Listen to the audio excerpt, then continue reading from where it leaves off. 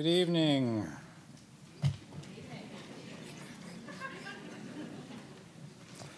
Welcome to the William G. McGowan Theater, and a special welcome to those of you who are joining us by YouTube and C-SPAN this evening. I'm David Ferriero, the Archivist of the United States. I speak to you tonight, as I have many times, from the William G. McGowan Theater in the National Archives building in downtown Washington. This theater was built a decade ago with a gift to the Foundation for the National Archives from the William G. McGowan Charitable Fund, Inc., which is also generously supporting tonight's program. It's fitting that we take time this evening to remember Sue Gin McGowan, who passed away in September.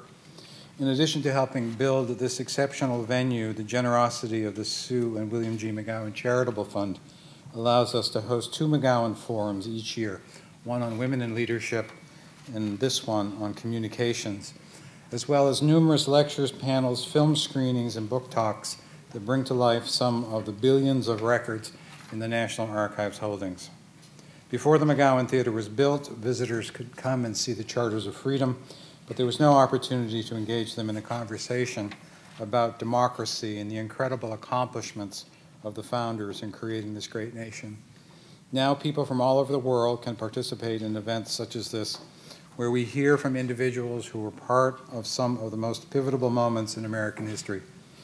Through the McGowan Theater and the support of the William G. McGowan Charitable Fund, we have this ability to come together and share stories preserved and protected in the National Archives to ensure that these important moments are never forgotten. This is truly a gift to the nation and to the world. Our guests for tonight's program, former presidential press secretaries, all had the delicate duty of communicating the views of the President of the United States. And if that wasn't enough, what they said was parsed over and over for further clues into the thinking of their bosses in the Oval Office. I'm sure tonight we're going to hear some real war stories.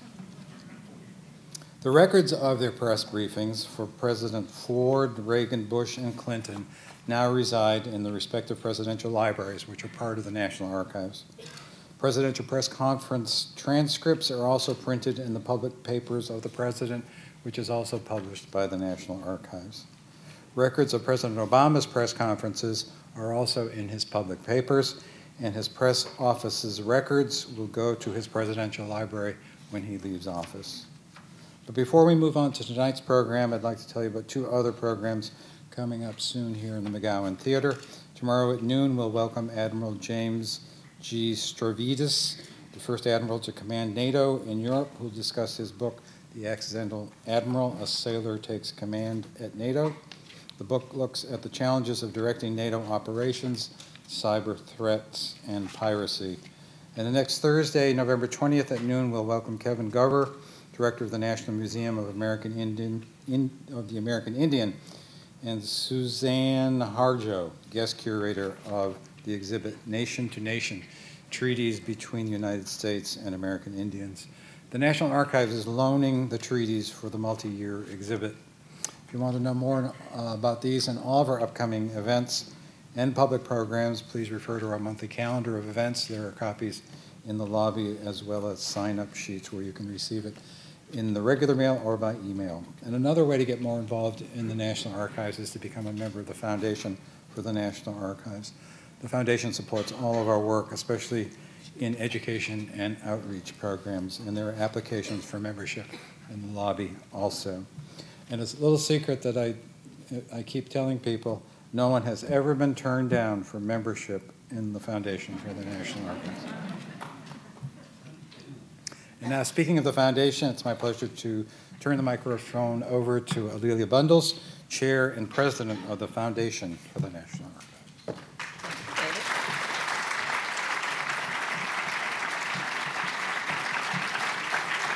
I love seeing a full house. So, welcome this evening. And thank you, David. And thank all of you for being here this evening for the McGowan um, Forum on Communications. I know you are all eager to hear our wonderful panel, uh, but please indulge me for just a few minutes uh, while I talk to you about a major milestone for the National Archives Museum. Ten years ago this fall, the William G. McGowan Theater, where we are seated, opened its doors to the public. Sue Gin McGowan, a passionate and visionary member of the Foundation for the National Archives Board, believed that this was a space that could bring people together to talk about extraordinary moments in American history. She named the theater for her late husband, Bill McGowan, who was a communications pioneer and founder of MCI. Bill believed strongly in the importance of open dialogue and was an enthusiastic lover of history. Here in the theater named for him, we celebrate those who have changed the landscape of our country and whose legacies are preserved in the holdings of the National Archives. And as David Ferriero, the Archivist of the United States, mentioned, you can become a member of the National Archives. You'll be on our mailing list. You'll get to know about all of these events. You may even get a reserved seat. So we know that that's, we know that we have a waiting line outside. Uh, and you can learn more about us at archivesfoundation.org. I'd like to tell you that just two weeks ago on this stage, we gave the Foundation's highest honor, uh, the Records of Achievement Award, to Robert Edsel, who brought the incredible story of the Monuments Men the men who served in World War II, uh, out to the, into the open, to the archives, through his books and through that movie starring George Clooney. This past summer, we hosted a panel of civil rights leaders as part of the March on Washington Film Festival with a very interesting panel that included um, Dan Rather, Charlayne Hunter Gault, Sharon Malone, and Peggy Wallace, the daughter of George Wallace. It was an electric evening. These are just a few of the things that we do along with the McGowan Forum in the spring, which features women. Last year, there were women from Congress, from Nancy Pelosi to Carol Moseley Braun. And so we hope that you will want to come back for our remarkable programs. Uh, and each year, we thank Sue Gin McGowan and the support of the William G. McGowan Charitable Fund. But I have just some sad news to share with you. Uh, just within the last month, we lost Sue McGowan. She passed away suddenly, unexpectedly. We greatly miss her humor and grace, but know that she will always be present here through her gift to us all, this beautiful theater and these extraordinary programs that bring the story of America to life. Tonight, we are privileged to have with us Ana Chavez, whose late husband, Gene Eidenberg, was our board member who uh, helped bring the McGowan Fund to become our friend, and also Diana Spencer, the executive director of the William G. McGowan Charitable Fund, and Marianne Brand, a close friend of Sue's and a trustee of the fund. It's my pleasure to welcome Marianne to the stage.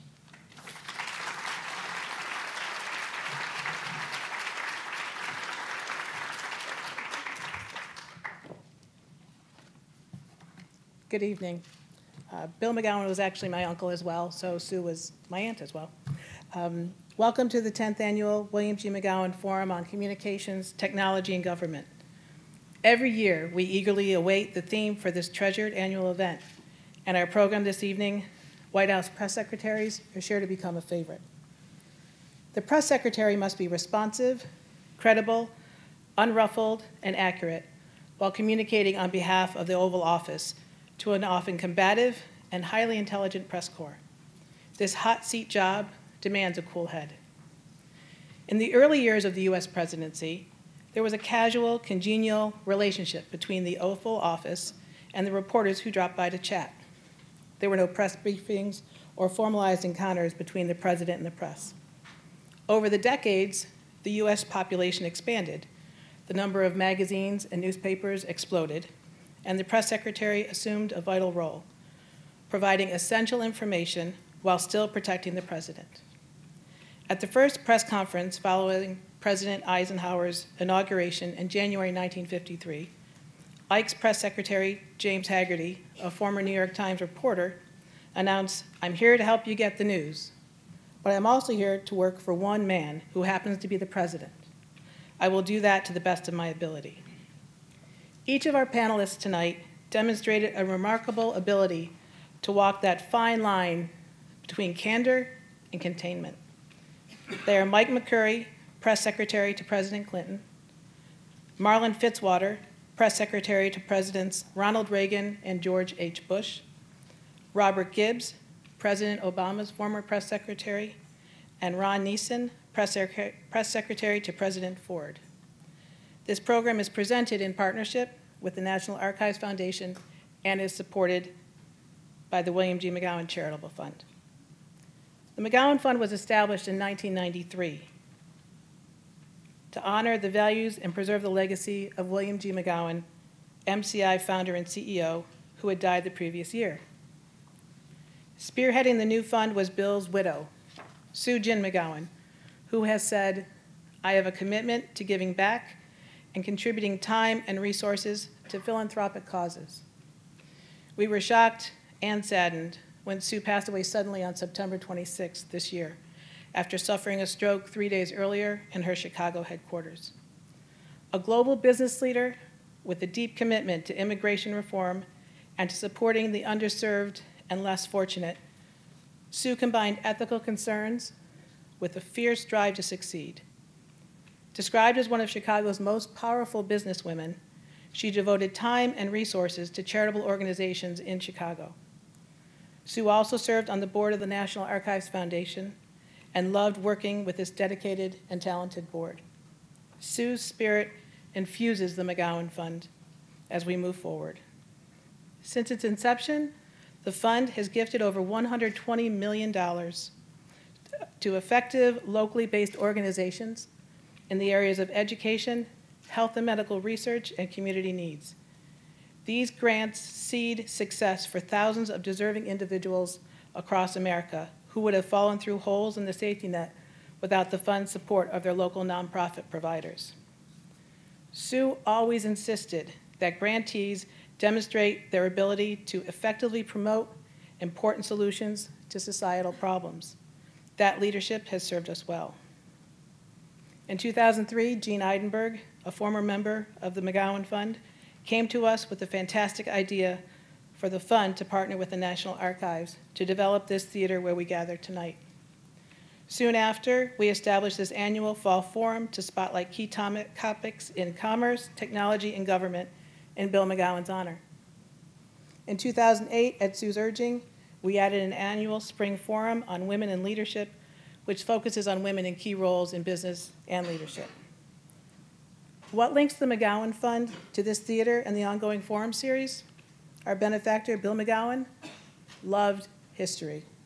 He loved movies, and he loved open and freewheeling debate on the great issues of the day.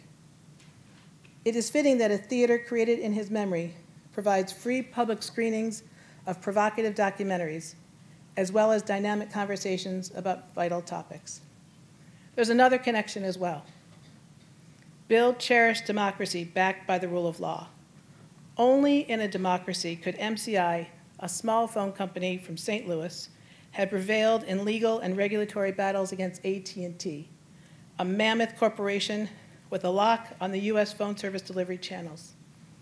MCI's victory over AT&T after nearly a decade of legal battles broke the monopoly and opened our phone service to healthy competition. Consumers benefited, and the way was cleared to advances in communication technology. Like Bill, Sue was a lifetime learner and zealous researcher. She welcomed debate and the exchange of ideas and continually updated her company's operations with new practices that made sense. Sue looked forward each year to both fall and spring forums here at the National Archives. The Spring Women's Forum reflects Sue's lifelong commitment to empowering women and giving them a full place at the table. At her funeral, John Rowe, the chairman emeritus of Exelon Corporation, described Sue as a role model for women, Chinese Americans, and anyone who wanted to start a business. The founder of Chicago's Women Business Development Center noted that during her career, Sue faced sexism, racism, and discrimination, and always overcame it because she looked at everything as a challenge, not as a barrier.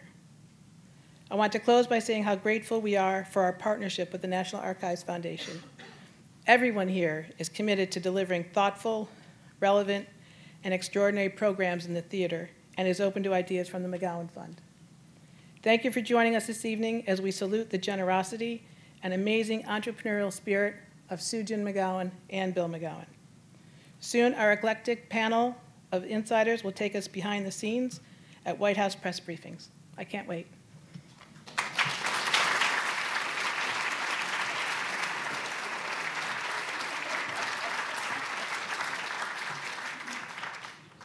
Thank you, Marianne. And, you know, though I never met Bill, I have seen those pictures of his wavy hair, and I think I can see something in the gene pool there with your beautiful hair. So thanks so much for your, for your thoughtful words, and we're just um, so appreciative of the continued support of the McGowan Charitable Fund. So I know you can't wait until we get to our panel, uh, moderated by uh, NPR's Michel Martin, my former ABC News colleague. It's really nice to see her here tonight. Uh, it also includes, as Marianne said, Ron Nessen, Press Secretary for President Ford, Marlin Fitzwater, Press Secretary for Presidents Reagan and Bush, Mike McCurry, Press Secretary for President Clinton, and Robert Gibbs, who was Press Secretary for President Obama, the first Press Secretary for President Obama. Uh, but before we get to this exciting panel, I'd just like to ask you to turn your attention to the screen for a short film in celebration of the 10th anniversary of the William G. McGowan Theater.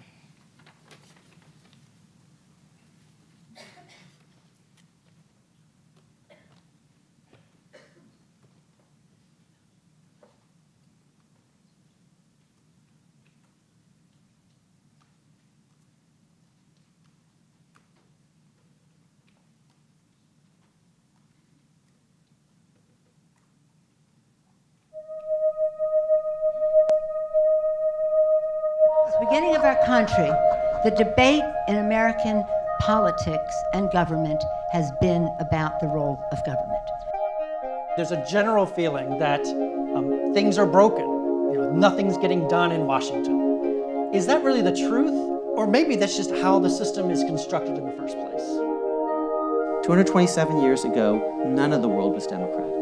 Now, half the planet's democratic with written constitutions and free speech and minority rights and the rule of law. And that's what success means when the world is becoming American. These thoughts and opinions represent threads that connect America's evolving national dialogue. A dialogue that is freely expressed in its home at the William G. McGowan Theater at the National Archives in Washington, D.C. Built in 2004 to honor the legacy of the late telecommunications pioneer William G. McGowan, the theater now celebrates 10 years of Mr. McGowan's commitment to the open exchange of ideas on our country and its democracy.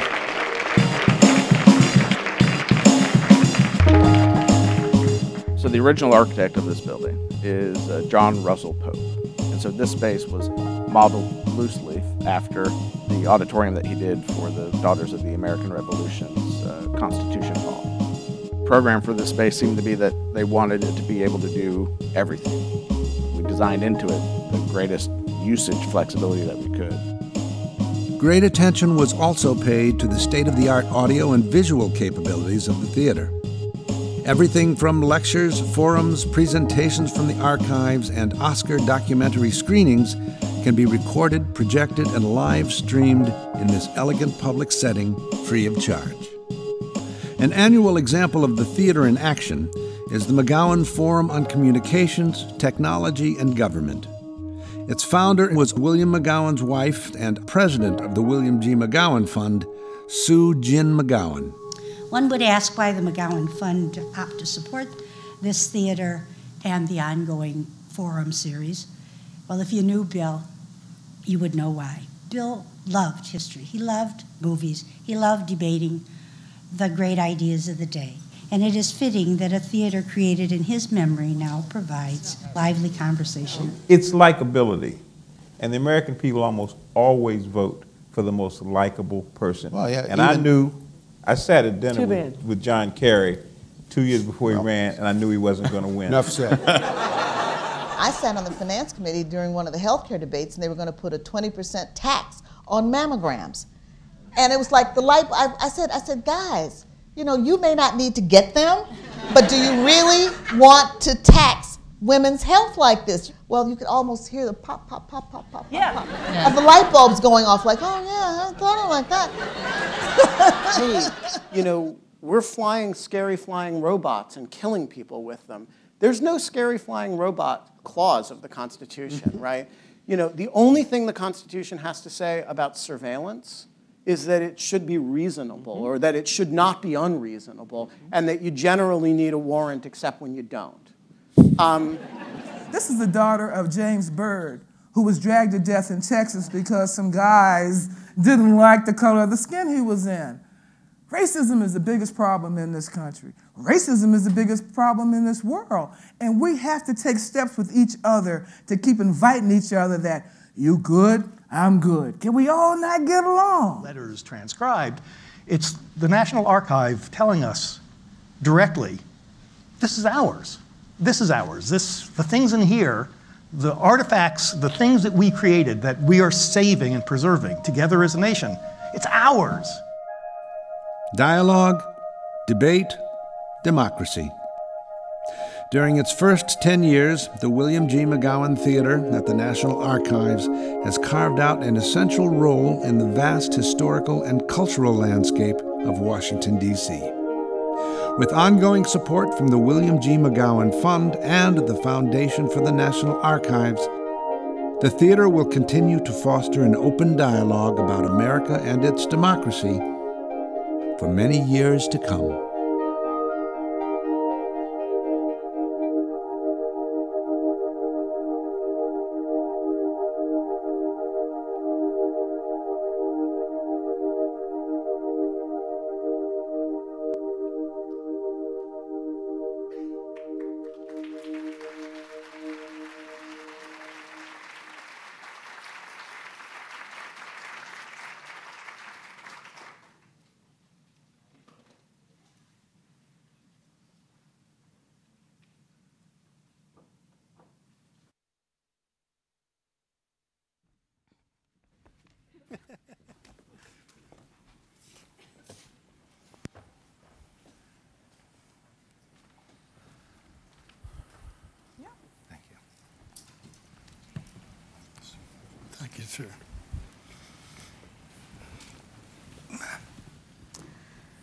So, in the words of Young Jeezy, let's go to work. you know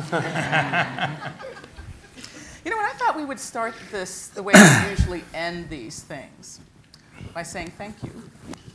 This is the week when we recognize the service of people who've served their country in uniform, our country in uniform, and all of you served in public service. So I'm just going to start by saying thank you. Is that okay? Thank you for your You're service.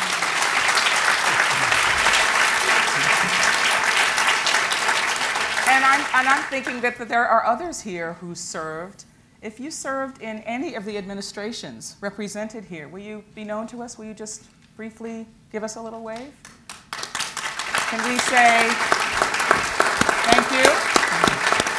Thank you. Um, and we'll talk about the whole relationship between the media and press secretaries, but if there are any press secretaries here, whether you served on Capitol Hill or in the White House, elsewhere, can we make yourself, and if you especially returned my phone calls, thank you.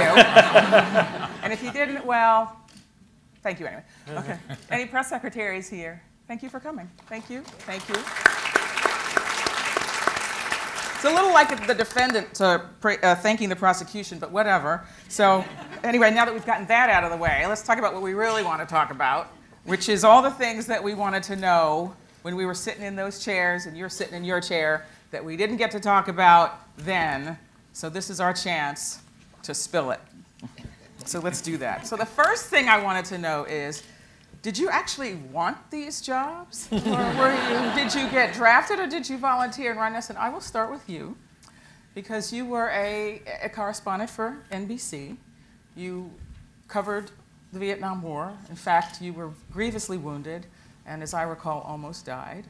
You come back here, you actually reported on the administration, you reported on uh, Gerald Ford's inauguration, and then you were reporting on the, the, the, then press secretary's appointment, and all of a sudden you, you're the guy. How did he talk you into that?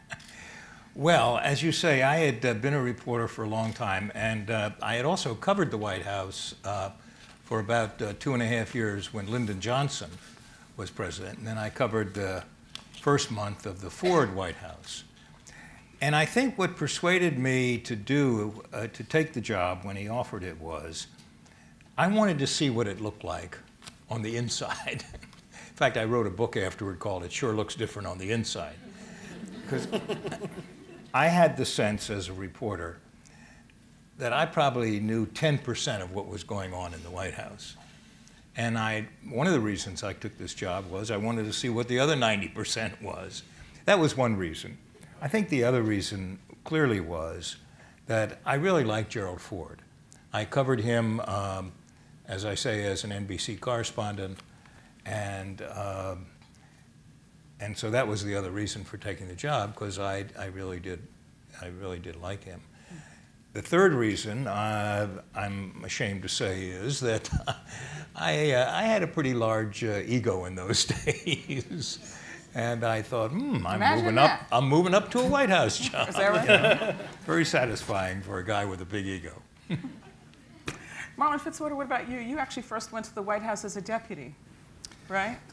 Right. I uh, was in the civil service, and I was at the Treasury Department when uh, Jim Baker called and said we we need a deputy for domestic policy, somebody to take the heat for the president on uh, the recession, which we were about ready to hit 10% em- unemployment. You want? Would you be interested? I said sure. and uh, so he said, come over. And I went over, spent an hour with him, and he said, You want the job? I said, Sure. And he said, Let's go see the president. We walked down to the Oval Office, and President Reagan was sitting there. He said, Well, Marlin, Jim here says you're willing to help out. I said, Yes, sir. That was it. Come, come. First time I ever met him, and uh, first minute I'd ever spent time with him. And I immediately walked out the door. I said, Mr. President, I'll do my best. And I got outside the uh, media, the Oval Office, into the secretary's area, and I went, Yes! and she said, What is that all about? I said, History must always record that even if I get fired tomorrow, I, for one day I was a press secretary of the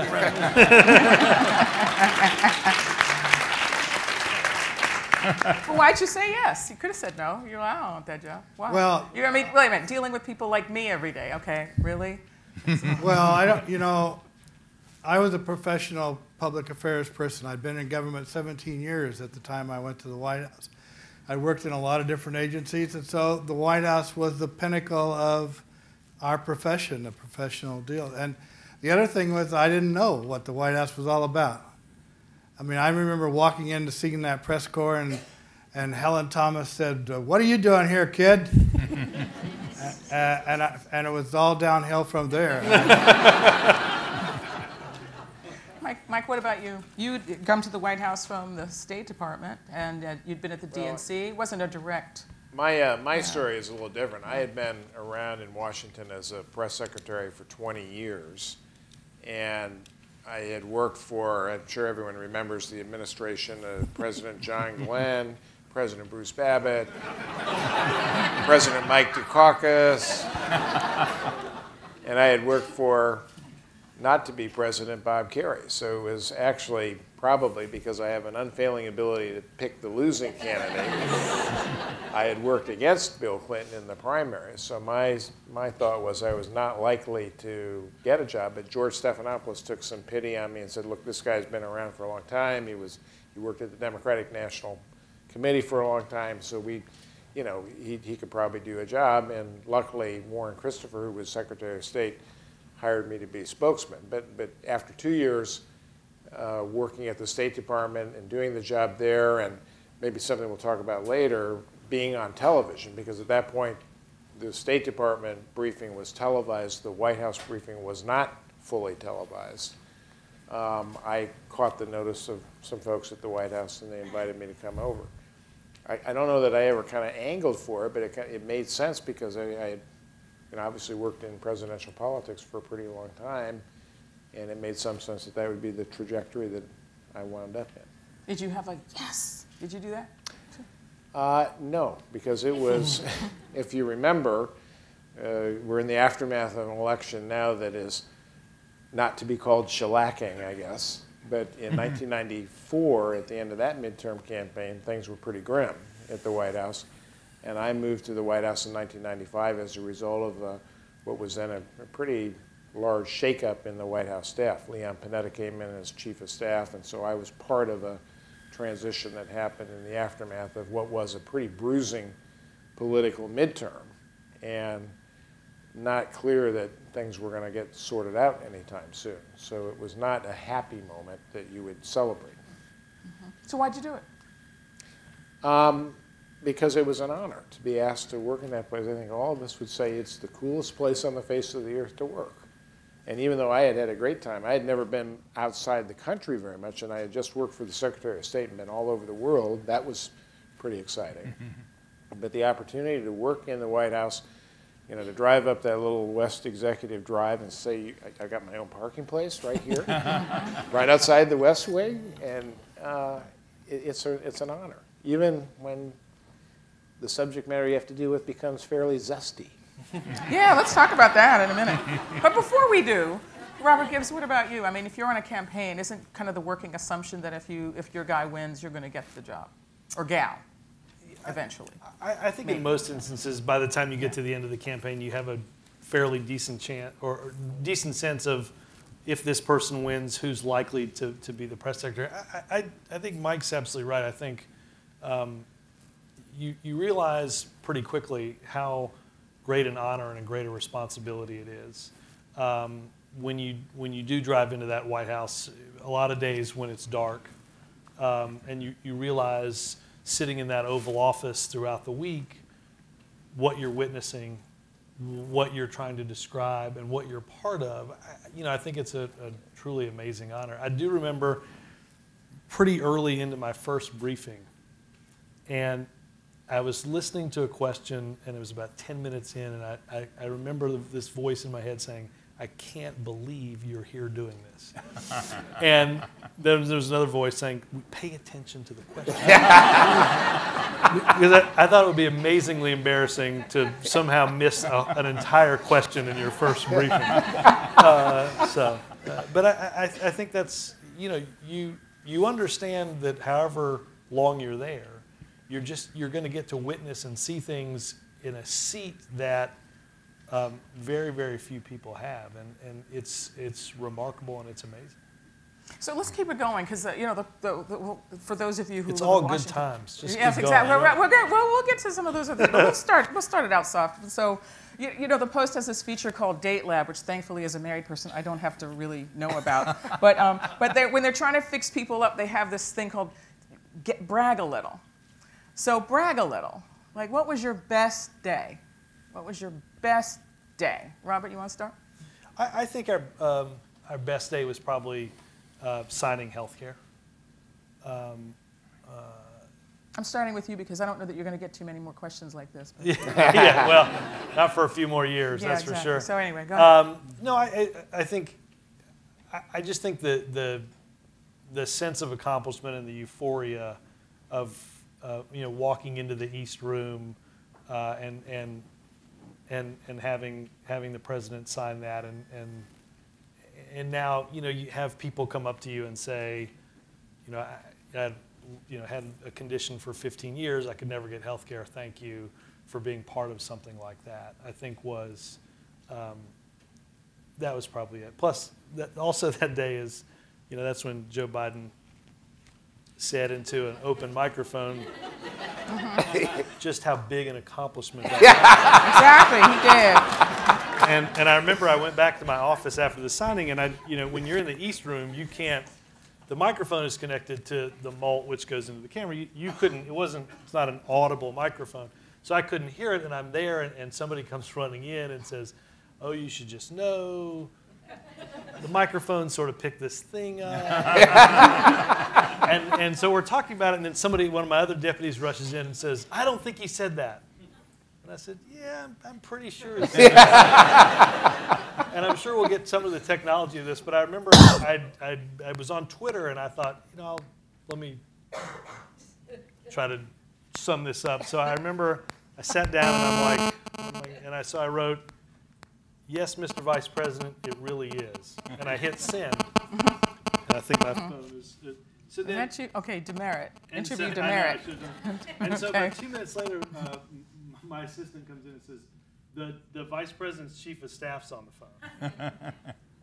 Damn, I should have checked with them before I tweeted. Um, and and it was one of those things. And again, sometimes in, in, in even in politics, honesty is the best policy. And Ron Klain called in, and I picked up the phone. and I'm like, "Hey, Ron," trying to pretend like nothing was going on. and he just said, "Thank you." And he said, "We were over here trying to figure out what the statement would say, and then we read your tweet, and it was like." Yeah, you know, just sort of own it. And it was so, that was a good day. All right. Can you turn your phone off, though? I am going to turn my Yeah, phone turn. Good it point. off. Thank you. I just have to find Appreciate my that. phone. Who's next? Mike, you want to say, what was your best day? Um, much more mundane than that, although I love, love that story. And, and thinking of that, you know, you were the only one of the four of us that had to worry about tweeting because I, right. It's a whole other conversation. and it's a whole different job. I mean, I, I think the job that you ended up having to do just because of the changes in technology and media uh, went by so quickly. Um, but mine was okay, very mundane, but it kind of it captured, as I think back on it, what I think the best of what the press secretary can do was, and it was a day that we announced in the Clinton administration that we were promulgating a very complicated federal regulation to regulate tobacco for the very first time. And it was premised on the theory that a cigarette is a delivery, medical delivery device designed to deliver a dose of nicotine to the body, which was stretching things, as the Supreme Court later concluded. but it was the, the regulation went on 30 pages in the Federal Register, and I stayed up a good part of the night to read it, even though I said, okay, the briefing the next day, we're going to bring in Donna Shalala, the Secretary of Health and Human Services, David Kessler, who's the head of the Food and Drug Administration, and they'll, they'll do the briefing, but I want to make sure it's a big deal and I want to make sure I know what's going on. Well, Donna Shalala and David Kessler got up there, and it was so complicated, and they instantly got way down into the weeds. Mm-hmm. and you guys all know Terry Hunt from the Associated Press, and he's standing there looking up. He's and it was clear to me watching the reporters that we were losing the story because they were having a hard time explaining it. And I sort of I got up and elbowed Donna Shalala out of the podium, which is a very difficult thing to do. You know and I, and I kind of took over the briefing. And then I've got the head of the Food and Drug Administration, the Secretary of Health and Human Services there, and I'm looking at them saying, am I explaining this correctly? But I had to, I had to simultaneously translate that complicated language and vocabulary of government to something that would actually get through and help the reporters write the story. And a couple of them came up and said, boy, you saved your buns there because we were not getting any clue what you were talking about.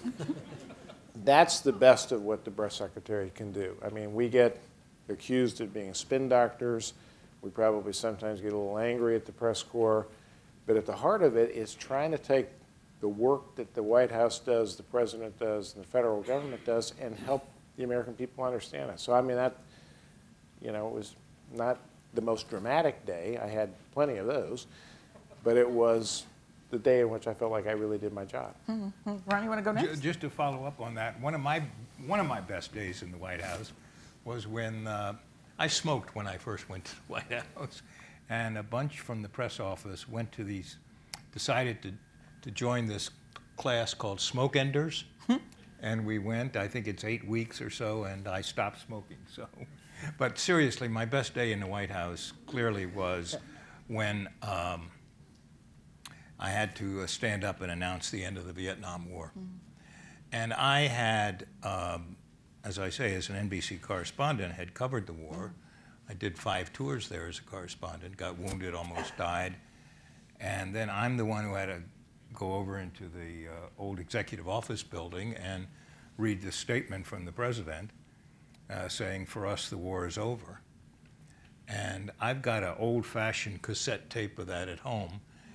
My voice is about five octaves higher than normal, very quavery uh, because of what Vietnam had meant in, in my life. And here I'm the one who has to stand up and announce the end of the war. Did you want to cry? Yes, Did you cry? not in, not in public, but in private I did. What about you, Marlin? You know, I'm thinking the, what was your best day? I was thinking that, you know, the 25th anniversary of the fall of the Berlin Wall this week, and I remember, uh, I shouldn't admit that I remember that. what, what about you? I was just, Well, there's so, you know, there's so many uh, days and events that you run through your mind, whether it's uh, the fall of the Berlin Wall or the invasion of Kuwait, uh, liberation of Kuwait, uh, or Panama, or those kinds of things. But I think the most uh, special day, memorable for me, was the, the first day of the Reagan Gorbachev summit in 1987. And everyone was anticipating an end of the Cold War, and Gorbachev had never been to the West. Everybody in the world wanted to see how he would get along with the guy who said it was an evil empire over there. And uh, we had 7,000 correspondents credentialed to attend the, the summit. So we moved the White House briefing room to the ballroom of the JW Marriott Hotel. and we also uh, renovated half the Commerce Department, on, or at least the first floor, uh, for overflow crowd. And uh, we got all 7,000 people packed in there. And I explained for several days why uh, we were accommodating these people, and also that I had invited my counterpart, Gennady Gerasimov, to brief with me. My rationale was if we were both there on the stage, we wouldn't get in an argument across town, which is what normally happens in these cases. And I figured neither one of us wanted to upstage our principles or create a war. We would be very careful. And uh, he and I talked about it. We were going to be careful. So we got to the, to the uh, podium, and we walked up uh, kind of on the stage like this, and we were about halfway across. And Sam Donaldson was sitting in the front row, and he said, 50 bucks, Marlin takes them. my first response, well, that's sweet. but my second one was, he just destroyed every purpose I had for this entire show. Uh, but nevertheless, it was a memorable five days. but what was that? Why was that your best day? Was it because of what it meant or because of your role in it? No, I think partially because of what it meant to the world. To us, uh, it, it was the beginning of the end. It was the unveiling of the Reagan Gorbachev uh, relationship and all the arms control agreements that went with it.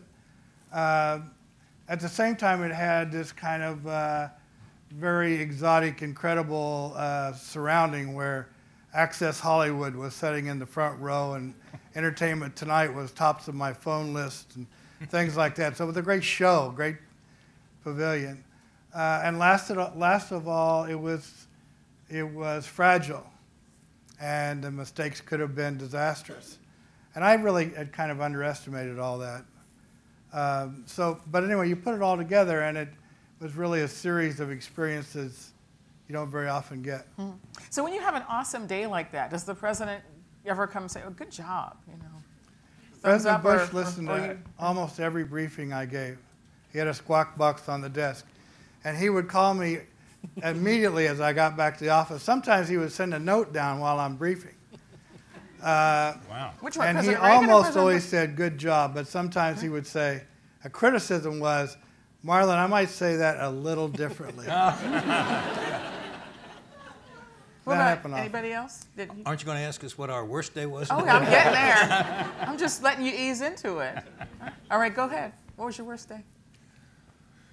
Well, I think uh, clearly my, well, the worst day was when uh, Ford lost the election to Carter, I think. But uh, I think one of the most difficult days was when Betty Ford um, went out to uh, Bethesda Naval Hospital and had a um, mammogram and discovered she had breast cancer. And she underwent a, uh mastectomy. And uh, I'll never forget the look on Ford's face. I mean, they had been married for 30 years. They were so close and so in love. And, you know, he was in danger of losing her. And uh, she wanted to put out the news while she was still in the operating room, sent a message out.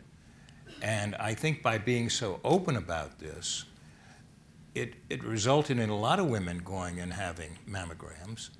And Happy Rockefeller, the vice president's wife, discovered she had breast cancer.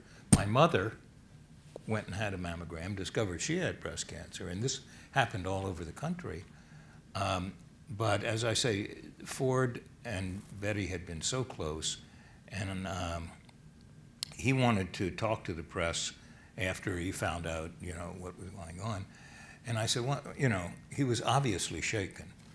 And I said, you know, why don't you take a couple of minutes? And no, no, no. I'm, I, and you know, you can, if you ever look at this old film, you'll see, you know, how rattled he was. Mm-hmm.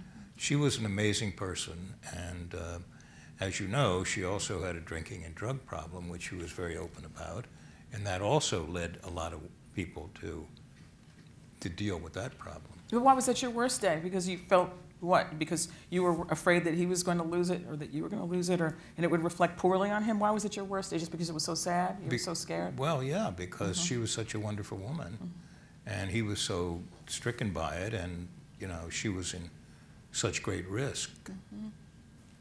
It had a happy ending, of course. Yes, it sure did. Anybody but, else? Hmm, Mike. Yeah. Well, no, you know it's funny because I. Just everyone assumes that the days of l'affaire Monica would have been, you know, the hard days, but they were they were relatively easy days. The press corps was consumed with only one subject, and I was saying nothing. so it was just basically, uh, as I said at the time, a hundred different ways to be double parked in the no comment zone. And, you know so and, and, it was just bizarre, but it wasn't particularly challenging or hard, or wasn't the worst day. It was just unbelievable. but my worst day was, and, and Ron, I, I appreciate it. It's, the emotion that goes into it sometimes because we're supposed to go out there and be very cool and collected and calm. And so, as someone said in the introduction, you know, we have to keep it together all the time. And I, my hardest day was, I had worked as Ron Brown's director of communications when, when he was the chairman of the DNC. And the day his plane crashed on a trade mission in the Balkans and went down, and it was an awful thing because there were a lot of young people. Uh, many of the folks on the White House staff knew who had been part of the advance party who were also killed in that crash. And I remember we had, I mean, we had in the Oval Office, I don't know how the White House communications folks did this, but we had piped into the Oval Office the guys who were on the search and rescue team who were up there to confirm the identity of the body. And, and I remember it was awful. And, and the president called Alma Brown, and it was very emotional. And then it happened right around the time of the briefing. And so I said, okay, I got to go out and brief because everyone's going to want to know what's going on. And I didn't stop to collect myself because here's a guy who I, I had crossed swords with. I think the only time I ever got fired in my life, Ron Brown fired me, and that we, we had, you know, a wonderful relationship despite that. And I remember going out there, and I got about two thirds of the way into this, and I felt myself losing it. Mm. And I didn't, you know, I still feel myself losing it a little bit. And I, I, I had to stop and say, I, I need to, uh, you know, I had, I looked out at my staff and they could tell I was in turmoil, so someone came up and handed me a note which said, get off now. Mm. so I went out and pretended that I was getting some important information from the president and then came back and, and was able to do the briefing. But it's those moments that we can, you know, you, we handle a lot and prepare for a lot, but every once in a while you get something that just jerks you out of your place. Mm. And I think those, those, those were the hardest moments. Now, it wasn't, maybe it wasn't the worst moment, maybe it was the hardest moment. Marlin, what about you? What was your hardest day? Well, you know, I don't really know that I, that I can point to a hardest day. It's, as, as I hear these stories, you know, it strikes me we've all had stories like this. Uh, Mrs. Reagan had a double mastectomy and uh, and I had to announce it on television, and uh, there wasn't much experience at talking about breasts on television. and I was scared to death, I want to tell you. But I, But you do know what they are. I, got, I, I had a passing acquaintanceship. I was a little concerned, but. So anyway, it was over, and she called me and said, "Would you come up to the?" This is after she got back from the hospital. and Said, "Would you come up to the residence?" And I went up, and she uh, said, "Well, I just want to tell you, I thought you did a great job. And are there any questions the press are asking about it?" I said, "Well, yes, they want to know why you had a double mastectomy when they're now developing other less invasive kinds of operations." And she said, "Just tell them this." I want to live. Hmm. She's still alive today. Hmm. Hmm. So there's a lot of days like that that are really moving. That you know, I wouldn't say it was my worst day, but you live with it. I remember one morning I came in and Helen Thomas says, "You're killing Palestinian babies. You are." I said, "What?" She says, "Over the night they killed 30 Palestinian babies, and you're responsible." And I said, Helen, what are you talking about? She said, that, that's happened. You're part of this administration. You're part of these policies. You're guilty. And she stomped off. And uh, two of my deputies heard all the screaming and came in, and I was crying. And they said, why? Why? And I said, you know, I, I just don't think I deserve this. How can this, how can this be? Uh, but I got over it, and you go on, you know. Is that the worst day? Probably not, but I will, I will remember it all my life. Why, why did that Could make we you take cry? about a half hour to tell uh, Yeah. Helen Thomas story? we can, we can. Yeah, we could. We could, but what, why, did, why did that make you cry? Because it would just seem so unfair and so unprofessional. Hmm. And not, and not uh, my responsibility, and not, um, and it was just painful. The idea that I was responsible for killing children. Do you feel that, I'm wondering if, why you, I would never have known this if you hadn't said this. I mean, do you feel that it's your job not to let people know you have feelings? Yeah, I don't tell those stories very often. Tw- it took 20 years to get this one out. What about you, Robert? I think the hardest days are uh, when you have really big things collide. And and I think Mike's, Mi- Mike makes a, a good point. The, the actually the, the easiest days to get ready to brief are the hardest days to brief. And what I mean by that is they give you, you know, you've got this notebook and it's got 20 or 25 things in it. But if you know you're only going to get one question asked six different ways, you don't really have to pay attention to the other 19 tabs in the binder. Yeah, we, call, Right? we, call, we called it the kitchen sink day because Right. everything in the kitchen sink was Yeah. going to get asked Right. that day. So you had to have 10 times as many answers. Right. So, look, I remember um, every day of the oil spill um, was was brutal.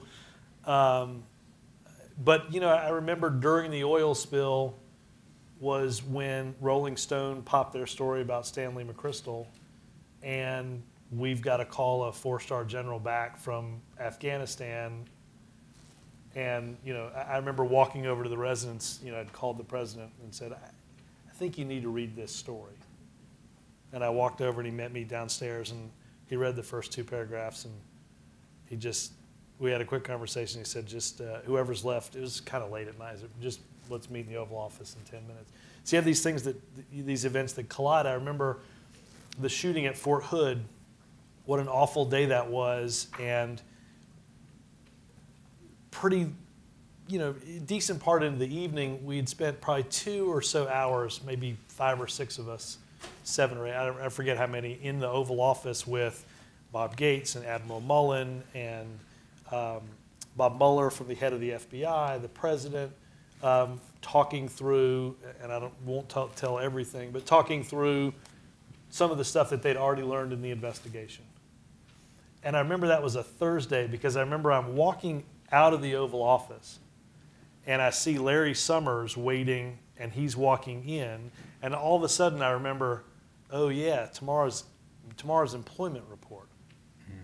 And of course, the, the White House economic team will get the employment report and they don't, you know, it comes out 8:30 in the morning. It's the day for you know two years. You're just waiting for the employment report. And Larry was going in to tell the president what the report was, and I remember, you know, again, I'm so focused on Fort Hood and the investigation, the FBI, and all this stuff, and I see Larry, and I'm like, I kind of crane and I like like go like this, and he just goes. and I remember going, oh man. And it was the first time that unemployment surpassed 10% since Reagan. And you know, so again, there's those moments where you've got all this stuff and then something collides. I think the most powerful moment um, was late October in 2009, and we were in the midst of the Afghanistan review. And an, an IED had just exploded uh, on a uh, uh, basically a truck carrying a bunch of our soldiers. And so there were 18 dead. And um, the president had uh, lifted, when he came into office, the ban on press coverage of the transfer process at Dover. And we, we knew at some point we would go to Dover. And we figured this was a good time to go to Dover. And we left the White House about 12:45 at night, um, unaccompanied in a helicopter. It's about a 45-minute ride to Dover. And I'll never forget, we, we, the helicopter comes down, and, and they'd given us the tail number of the giant plane that had all the transfer cases in them. And I remember we put the helicopter down, and I, I look at I look out the window, and I, first tail number is this giant plane, and it's that that one. And I can remember coming off the helicopter and seeing in in in these neat little rows, 18 transfer cases with the flag. And, and the process, you know, is, is done, it's, it's a remarkable ceremony. And we were sort of there, we, we were there for about four hours. And, um, you know, they, they, the president went out with the, the honor guard. They go, they get one of the transfer cases, they bring it off. It's a whole ceremony. And um, I'll never forget, we, we got on the helicopter and we flew back to the White House. We landed a little after four in the morning. And um, I remember the next morning, uh, great friend of mine, still is, David Axelrod, said, uh, What did you guys talk about on the way home? What did he say? Hmm. And I said, Nobody said a word on the ride home. We just got on the helicopter, and you just, you know, we were, again, we were in the midst of Afghan, the Afghanistan review, and I, I think the, the president, you're, you're there watching the president go through this very dignified transfer, and, and you're knowing that he's sitting there thinking, I'm going to make a decision where somebody is going to come back like that. And you meet the families, and it, it's just one of those things where you, I, you know, we, we had to describe it the next day, and we did the pool reports, and I never really had to go out and brief on it, but I just remember thinking, there are those moments in which you begin to feel a little bit of what they're going through. And, and in a real sort of, in a way that you just feel like you, you can understand for a brief moment what, what weighs on their shoulders. So, switching gears now, did you ever lie?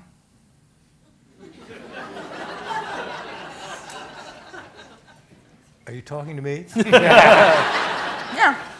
Did you lie? Did any of you lie?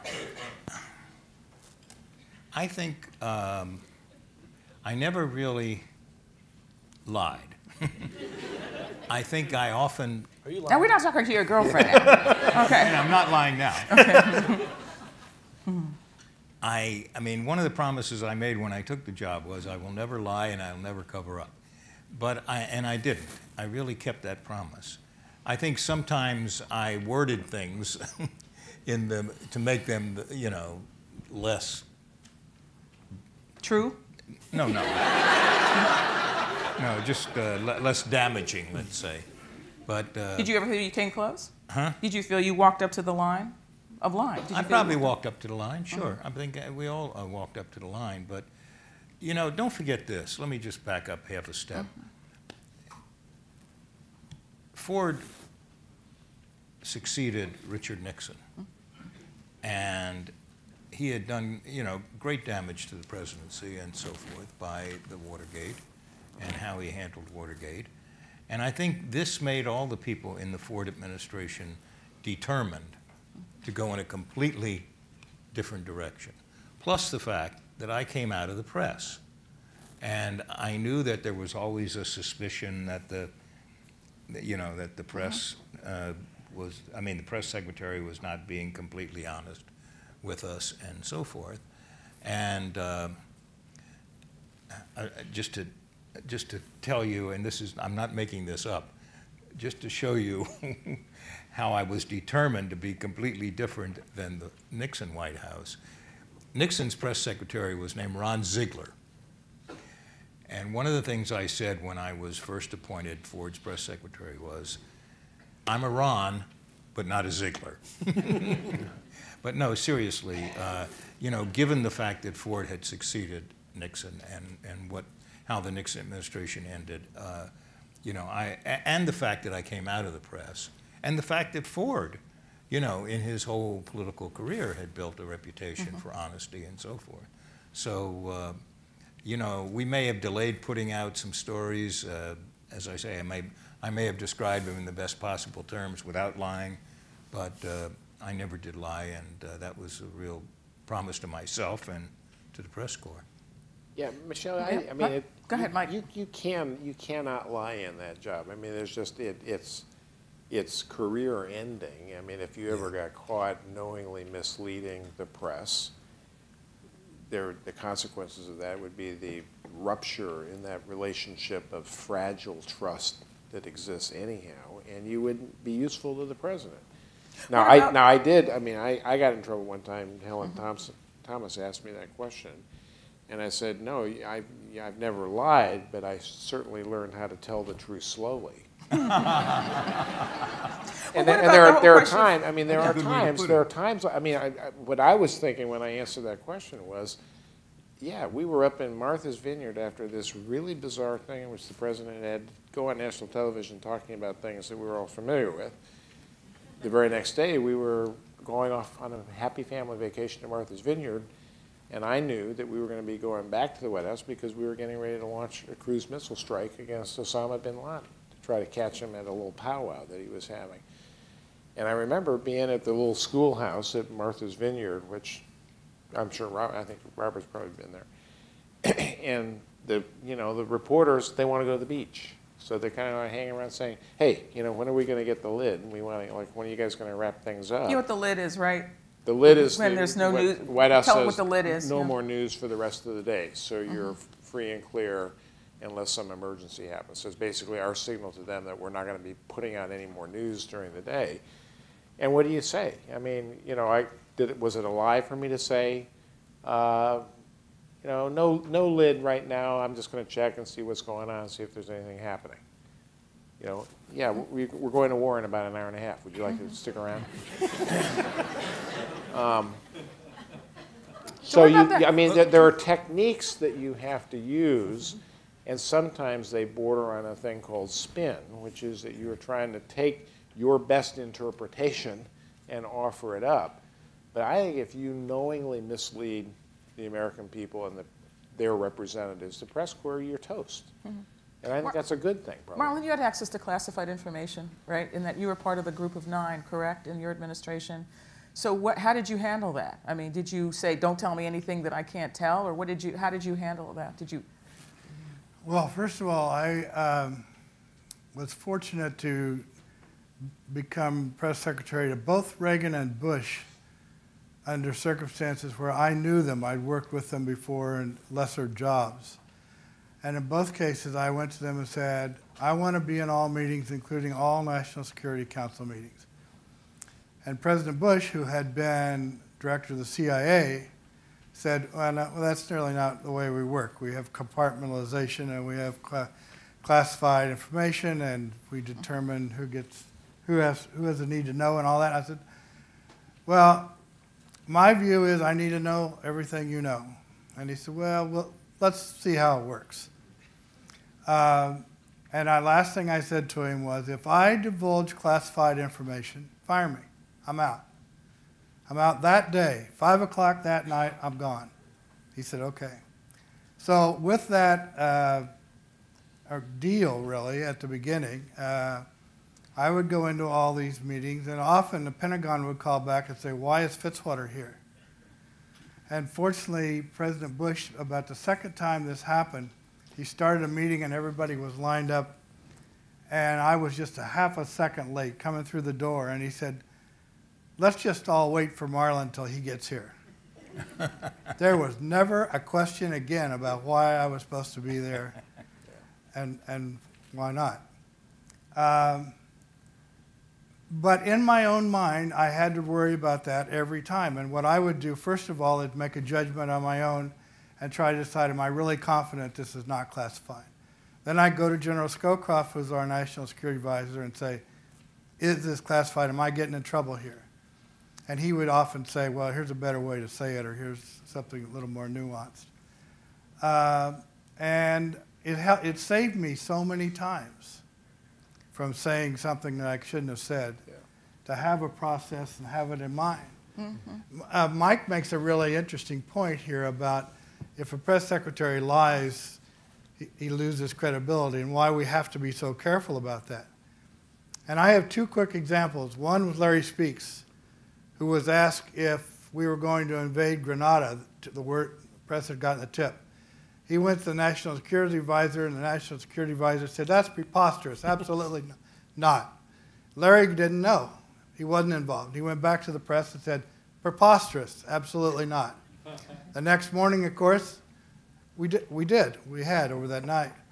And the press never treated him well again. It was similarly Jody Powell with, with President Carter was part of the, he knew what was going on. He was very close to President Carter and he was a part of the considerations on the uh, attempt to rescue the hostages in Iran. And one night they were making the hostage rescue attempt. The press got a word of it and went to him and said, Is this happening? Jody just hadn't thought about it. He hadn't spent time, what do I do when this question happens? And uh, he, in his own mind, said the same thing I probably would have said. I think I would have that the most important thing here is the mission and protecting the lives of our troops. And I am not going to admit this no matter what. But what Jody did is he just kind of hadn't thought it through and he said, no, it's not going on. It's not happening. Well, of course it did. And Jody had trouble from there on. His deputy took over the briefings and it was a terrible thing. And Jody was a good press secretary, a really good one. Yeah. Uh, but it was just, uh, it just happened. So you, you kind of live in fear of that all the time. And I, I, know we've all come close. Robert, you wanted to say something, then Ron can. Well, I would just say, I mean, I, I, and I've talked a little bit about this, but I remember at the very beginning of the administration, it, I know it's going to sound preposterous, but you know, um, you know, they, one of the things they said, don't don't even acknowledge. Forget drone strikes. Don't even acknowledge that there's a program that does this and either you're you're new and like you know you're you're freaked out about saying something that's classified. Okay, probably like the third day I was briefing, somebody asked me about a drone strike. I I, I don't don't have any information on that, and and I'm you know not going to get into. It's on the damn front page of the New York Times, right? Because somebody has has reported we've killed six people in a drone strike, yet the press secretary to the president of the United States is not capable of acknowledging a program in which that even exists. And, and I've said this now since I left. I, I, didn't do anything, I didn't say anything about it then. And I, I, wish I, would, I wish I would have because you cannot have somebody standing up there saying something like that while they're reading the New York Times. It's, it's sort of preposterous. I have an example sort of like Marlin's. I, I, during the Afghanistan review, which we had about, I think probably 12 or 13 mostly three hour situation room meetings to go exhaustively through the process. And after the first meeting, um, Rahm, the chief of staff, came into my office and said, um, he said, the Pentagon, uh, the Pentagon doesn't want you in those meetings. They said they don't want a political guy in the meetings. Yeah. Ever been to the Pentagon? Um, I didn't say a word. I just reached over to my desk and I picked up my ID because the one great thing about being press secretary is all the Secret Service guys know you don't have to wear your ID. And I just picked it up and I said, if that's the case, then take this and do tell me how it all works out. And he said, What do you mean? And I said, I said, if those guys think I'm in there to give him political advice about Afghanistan, then the idea that they don't know the president is it, it, that's the biggest understatement in the world. But I said, if you think I'm going to go, the president's going to go into a three hour meeting in which we're going to repeat a dozen times, and you think I'm going to come walking up to somebody who sat in that meeting and say, hey, I'm, I'm about to go brief. The president's just been in these three hour meetings. Can you give me the five minute rundown of what they talked about so that I can go answer 30 minutes of questions about Afghanistan? It's, it's crazy. And I said to him, I said, if you think you, if somebody's going to willing to sign up for that, be my guest.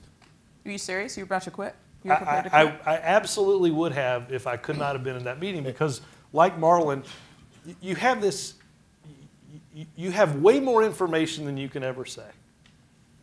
Um, and particularly at a time, I mean, look, there's, a, I'm sure there was then and there is now a safe in the, in the office where you, you have to lock up classified documents, you have to record when the safe gets open, record when the safe gets closed.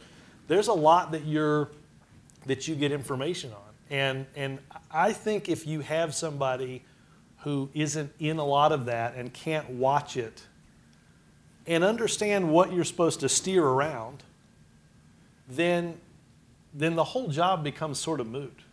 Yeah, because if, if I'm not in that, and again, I, it's not as if I'm, and I'm sure that plenty of reporters will go back and look at those briefings and say, well, he didn't really say a lot about out of those 12 hour, those 12 three hour meetings, but you, you at least get a good sense of what is discussed, the interplay, the issues that they're talking about.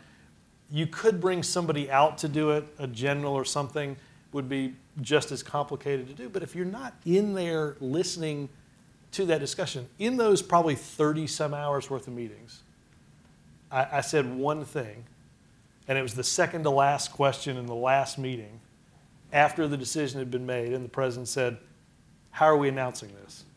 And I said, We're doing it a, with a, a, you're doing a primetime speech at West Point, sir. That's all I said in 12, 12 meetings. And my job wasn't to say anything. My job was to take a lot of notes and, and try to, as best as I could, inform reporters about what was happening. If you can't do that, then, then a briefing wouldn't matter, a press secretary would, you, you wouldn't, you just, you wouldn't have any capability. Michelle, Michelle, there are just, there are two, two important things here. Okay, let's One hear these two it- important things. 'cause One then I want is- these folks to get their chance to Okay, visit. one is, it's not what you know as the press Mm-hmm. secretary that gets you in trouble, it's what people around the White House forget to tell you or don't tell you that gets you in trouble. And Marlin, in his book, talks about, the, the- it's about having a process of verifying the information that you get and verifying that you know what you need to know in order to do the briefing. That is critical to the job. But the second thing, which is important, it's come out here, is the president has to protect that role of the press secretary to be there and to know what's going on and to, to take it all in. And, and I have, I have had, I had the same experience. That, You know, President Clinton would stop meetings and say, get old Mike McCurry in here because the press is going to be on him on this. and I want him to hear what we're talking about. I mean, he would literally stop meetings and make me come to the meeting so that I would actually see what the conversation was about. And a president who doesn't respect that role is going to screw up the relationship that's important. Well, there's an awful Well, lot to talk to about. Go ahead, Ron. on that for- okay, Ron, for just a to follow up. But see, now they're doing to me what I would. would, would No, what? I, mean- I, I mean, I do Okay. want to follow up on Okay, that. Okay, we're going to ask questions here. and These two mics um, on either side are for that purpose. So have at it. Go ahead. Well, you know, So- when, uh, when Ford asked me to take this job, um, I made it clear that, and, and he, actually, he made it clear that I could sit in on any meeting. Um, Sometime Kissinger was not too happy about that, but other than that, I, I could sit in on any meeting because if you have to go to another member of the White House staff and say, I've been asked a question about this, or I expect to be asked a question about that. How, how should I answer that? They're going to spin you up for their own purposes, you know? They're going to, they're going to give you an answer that helps to achieve whatever they're trying to achieve, not to be truthful with the press. So Ford said, you can sit in on any meeting you want to, uh, which he kept that promise. And uh, as I say, Kissinger was a little bit more of a, of, a, of a problem, but I think that's one of the most important things uh, uh, you can do to make sure you're getting all the facts to pass on to the press. Uh, because if you have to call up somebody else on the staff and say, you know, I think I'm going to be asked a question, or I've been asked a question about so and so, how should I answer it? They'll give you an answer that helps them, you know, with whatever the issue is. So uh, that's why I think the press secretary really needs to, uh, to have a meeting daily with the president. You know, you bring in a list, here, I expect to get asked these questions, How- you know, what do you think I ought to say about that and that? Okay, let's talk to the, let's let the folks participate who've been very good about 10 seconds. The only thing I would say is the different, the, you're absolutely right about the meetings. That's what's so important. Sometimes they'll say, my door, the press secretary can always come in my office. Well, that's great if you know exactly what you want to ask the president to, in order to respond. A bunch of times it is just watching the process play out in that meeting. Right. Mhm. Whether it's in the Situation Room, whether it's in the Roosevelt Room. Mhm. They make Or a the lot of, Office. right, or in the Oval Office, they make big decisions. And sometimes you're just sitting there, you're taking notes and you're watching it. It also helps you get a lot more educated about any issue that you're ultimately going to Well, speaking of getting other chicken, there's a bunch of things we all want to talk about because one of the other questions I had is, do you all play favorites? Did you all play favorites with who you called? Yeah, on? you were my favorite.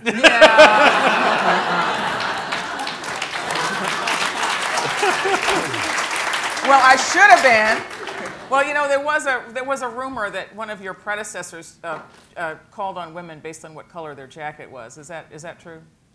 I don't, I don't think so. That's I don't not know. right. Well, when. I was- Marlin can't recall that. When I was Yeah. press secretary, We, you know, th- my, we played favorites only to give to certain news organizations that we thought would put a bigger display on a story to try to get it more exposure over time. It wasn't Exposure or liking you, liking no, your side? of No, no, no, just to get the story out there. I mean, we'd Okay. give it to, if we could, you know, hey, USA Today, we'll give you an exclusive if you'll put it on the front page, because then maybe some other people will pay attention and ask about it, and we'll get a little more coverage. Yeah. well, when I was press secretary, there was only one woman in the White House press corps, Helen Thomas. And I have a picture at home. You all desperately want to tell some Helen Thomas stories. I'm going to tell you one Helen Go Thomas. ahead, story. one Helen Thomas I have we're a go picture to at home, a really alternate. big picture of me at one of my briefings. Mhm. And I'm standing up at the podium, and you see this wide-angle shot of all these reporters. There were no chairs in the briefing room like this. People sat on the floor and in the window boxes and so forth. Anyhow, and Helen was always sitting right down in the front, you know. And I'd make whatever announcements I had and said, anybody got any questions? Uh, or I would announce something that the president had done, and Helen would raise her hand and she said, Well, Ron, do you agree with him on that? And my answer was always the same who gives a damn? I mean, I'm here to announce what the president has done and what the president is thinking and saying. And that's my job. She never And- thought you jumped the shark, huh? She never thought you were on that. Sir, and you know who we are, so we'd love to know who you are, if that's okay. Uh, I'm Jim Loewen. I wrote a book called Lies, my teacher told me. Um, and you guys have said that you don't lie, and one of you even said you don't mislead.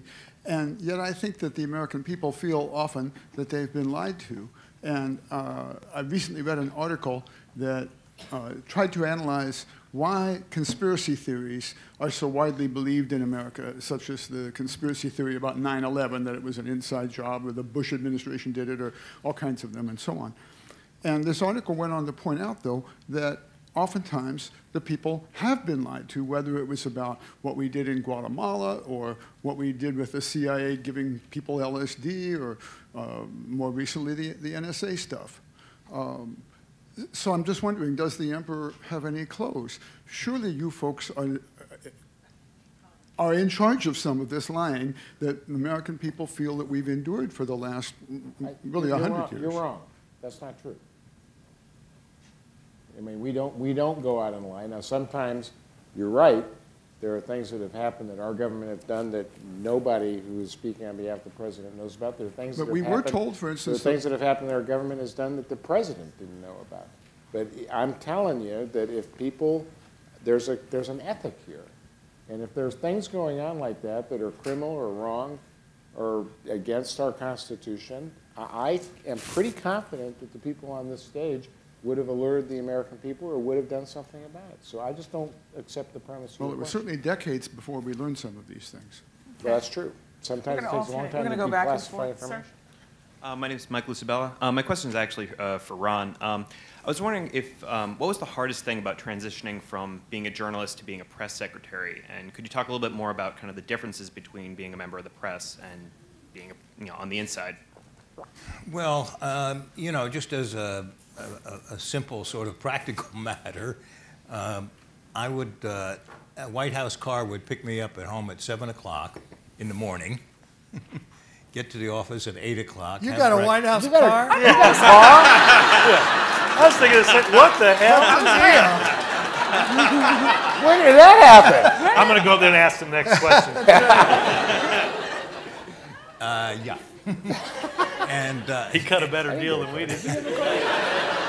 So I, I leave home at seven o'clock, get to the White House at eight, eat breakfast there, start uh, talking to my staff about, you know, what, what, uh, what do you, what do you think we're going to get asked today? And then everybody would farm out to get the answers, and then I'd have a meeting with the president at ten, and my briefing would be at eleven. Then in the afternoon, reporters would wander in and out of my office with their own questions, you know, and there were meetings that I attended and so forth. And I would usually get home at night about 8 o'clock. And I had a very young son then, and he would be asleep by the time I got home. He'd been asleep in the morning when I left, and he'd be asleep, and I would wake him up and play with him because that's the only uh, time I would get to see him. So, you know, that, that, that, that's, a, that's a long day. Uh, but that was the way it worked. Mhm. Robert, you had kids. About little this kids. car. Yeah, we want to. Everybody wants to hear about this car. Everybody wants to hear about this car. Yeah. Well, you know, one of the big differences between then and now is is, is televised briefings. I mean, even when I was Yeah. there, Marlin, you never had, you very rarely had televised briefings. My partner to the right And then- here is the, uh, Yeah, Mike, what, what's up with that? What's up with the televised briefings? Um, what made you make that decision, and do you regret it now? I, I had done um, televised briefings at the State Department. State Department had been televised going all the way back to Hodding Carter when he was the State Department spokesman back in the Iran-Contra, um, the Iran hostage crisis. And it seemed weird to me. They had this thing that uh, maybe dated back to Marlin's time where they, they turned on the cameras for like the first two or three minutes and then turned the lights off. And it was, for me, was just disconcerting because I, I felt like I let down a little bit after they turned it off. And, and two people came to me. It wasn't about television, it was about radio. Peter Maer and Mark Knoller, two of the finest uh, reporters at the White House, both radio reporters. And they said, we are at a disadvantage here because our print colleagues can, you know, use all the material they get from the briefing, but we don't get any raw material that we need for our broadcasts. We have to go out hour on the hour and report from the White House, and we need sound. We need, we need your briefing. It needs to be available for electronic broadcast. And I said, okay, well, you know, let's, we'll experiment. And so we kind of kept lengthening the amount of time that the briefing was available. I never asked permission for this, by the way. I just kind of did it. We kind of let it go a little bit longer every day. And finally, Mark Knoller came in. You guys know his funny voice. Mike, did you know that the entire briefing was televised last, you know, Friday? And I said, yeah. And if you ever make a big deal about it, it'll never happen again. and and it worked fine for three years, 95, 96, 97, and then we got into the escapades with Monica Lewinsky, and I became a daytime soap opera.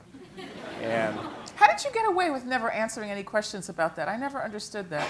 Because it was be, well, because it, very important. The CNN was the only all cable channel, and they weren't that interested in putting the briefing on. I mean, occasionally they would if something like when the Murrah building blew up in Oklahoma City or something, they would carry stuff live.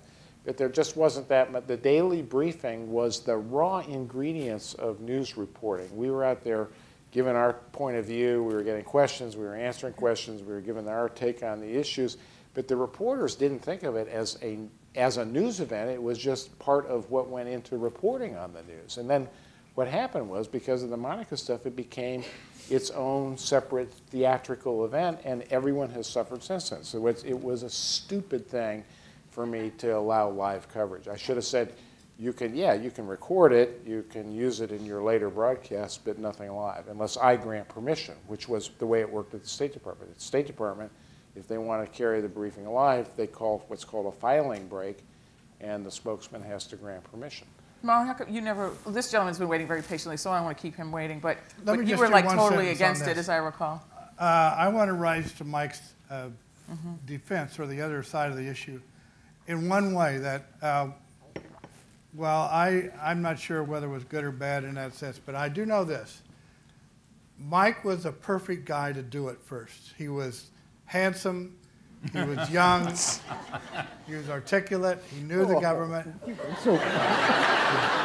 And most importantly, at a time during that uh, scandal or whatever it was, It was a scandal. uh, when the government, I'm pretty sure of that. when the government was really having difficulties, and when the White House was difficulties, Mike was a stable face on the White House and the government during all that period. And I used to watch him, and I would say, you know, I don't know whether anybody back behind the scenes what they're doing or whether they're, you know, going to meetings when they shouldn't or not going or whatever. But good old Mike is there every day and, and doing the best he can. And it was a face that said, government is still operating, it's not easy. You know, impeachment is no fun for anybody, but we're moving ahead. Uh, and so I think that the television presence paid off in that instance. Now, since then, we haven't had, you know, quite the same kinds of situations. Although, uh, I'm not willing to dismiss it entirely uh, because I think there are some circumstances where the television presence is important. Uh, but it makes it a lot different ballgame and different for the reporters. I think it was the end of a lot of the print journalism power and influence uh, in, in Washington. Uh, and we could examine all that at great length. But uh, it, Okay, I it- see. it was a complicated thing. Hmm. Sir? Your brand. And then this gentleman, and I think, where are we? Go ahead, Well, keep going. Thanks, uh, thanks very much. This has been really enlightening. I'm Patrick Wilson, and I'm involved in the Young Founders Society here at the Archives. And uh, we'd love to have all of you uh, join us uh, in the Young Founders Society. But my, my question is actually about something that you haven't talked about yet. Um, mostly you've been talking about the, the transmit mode, right? What messages you're putting out. Almost all of you also served, as you've already alluded to, as internal advisors to the president about what the impact of the press will be on decision making. And I'm wondering if you can just add a little insight into when you have to tell the policy shop, we aren't doing that. That's a dumb idea. Press isn't going to like it. The dog isn't going to hunt. What are some of those times where, as a press advisor, you actually steered policy? Who would you like to answer that? Who would you like to hear from? I think for the panel, but it's, Who uh, it's who feels most Let- let- compelled let to me- talk about where they've had impact. Let me start with this because I, I build off a little of what Marlin just said. I do think, um, both for the briefing, whether it's televised or not, but the, the briefing does shake government into giving an answer, even when they might not want to. And you know every day, I, I didn't have breakfast at, at 8.15 at the White House. We were in a 7.30 meeting, but we, when we went into that, I'm kidding with I'm just, but when we went into that 7:30 meeting, there were 10 of us probably in the chief of staff's office, and, and I was always the last one to go because they knew I always had a bunch of stuff. You know, you knew you had a pretty good sense at 7:30 in the morning what your briefing was going to be like, what your day was going to be like, and um, you know, you start the process there of making sure people understand. We read this in the newspaper today, and we're going to have to say something on it. And we don't get to not say something on it because we're going out there. And I've literally I've been in meetings where people said, you know, well, we don't have a policy problem, we have a communications problem. Oh, okay. Tell me what to say and I'll fix your policy problem. You know? or, you know, you, you know you're going to say something, and I, I, I can't remember how many times somebody would say, well, it'd be good if you didn't get asked that question. Well, I agree, but just to be clear, you're not getting asked that question. I'm getting asked that question. And on more than a few occasions, you would, you, you know, you'd, you'd sit through a meeting and, you know, nobody would come to a resolution and you'd say, guys, they've advised my briefing for 1.30. So we can do this one of two ways. Either somebody can stick around here and you guys can figure out what we're going to say, or tune in around 1.30 and I'll, I'll tell you what the policy is. Remarkable how quick the operation started working when they realized, you know, the one thing the briefing really does is it forces you to have to go out there and talk about things, even if you don't want to talk about them, even if they're classified and they're hard to talk about. But we have a government that every day has to answer those questions. And it, it, it makes the machinery of government work better because those answers are forced. And even if it takes sometimes the press secretary saying, as I remember doing a lot, you know, and I remember sometimes they'd walk guidance in and I would say, we're not saying that. That's crazy. You can't do that. And, you know, you would say, eh, it's not going to work. This is what the story, you can't do that. And you'd go and you'd be 15 or 30 minutes late to the briefing because you'd walk back in and say, you know, I know you don't want to answer this question, but that's not what we're going to say. And it, it helps the machinery sometimes when, you know, when Mike would go out there, when any of us would go out there, the other guys, they don't have to go out there. Yeah. You know, they tune in, they're like, I wonder how Mike's going to deal with that. you know, and, and, and it helps, though, move that machinery in a way that you say, okay, it only works if, if we work together and we give an answer that's, that's, that's good and that's informative. Well, you know, he makes a very good point about part of, part of the job of being press secretary. I mean, clearly part of the job, or most of the job, is to represent the president and the White House to the press. But the other part of your job is, as he explained, is to represent the press to the White House and the president. And I, I you know, having come out of the press, I've, I felt that particularly. Sir? Hi, my name's Adam Armstrong, and I was just curious. You guys have obviously had um, very uh, exclusive access to uh, to the president. Um, now that you guys are outside of the White House and you guys are reading newspaper clippings, um, is there what do you think the media can be doing to do a better job to uh, to help the uh, serve the general public? Next question. I'm sorry. okay.